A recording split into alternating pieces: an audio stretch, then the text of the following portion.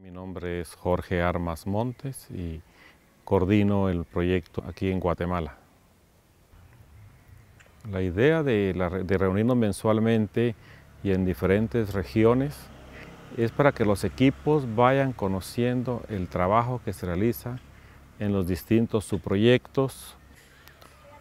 Para los equipos regionales es una experiencia muy grande cuando comparte con la familia porque uno está más cerca de la realidad, uno conoce y experimenta más el sufrimiento de las personas. No somos empleados de oficina, somos empleados de campo. Y cuando nosotros vamos al campo, vamos a las familias, aprendemos mucho de ellas.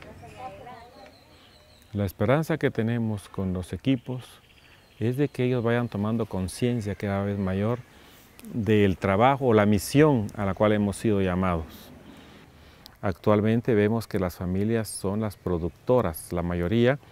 De hecho, en algunas comunidades ya nos venden frijol, nos venden maíz, nos venden su producto para poder nosotros entregarlo a otros proyectos. La esperanza para que tenemos para las familias es grande y vemos eh, ya el cambio que se está dando en cada, en cada familia, que queremos que ellas lleguen a no depender de nosotros, sino que CFCA sea un apoyo para ellas.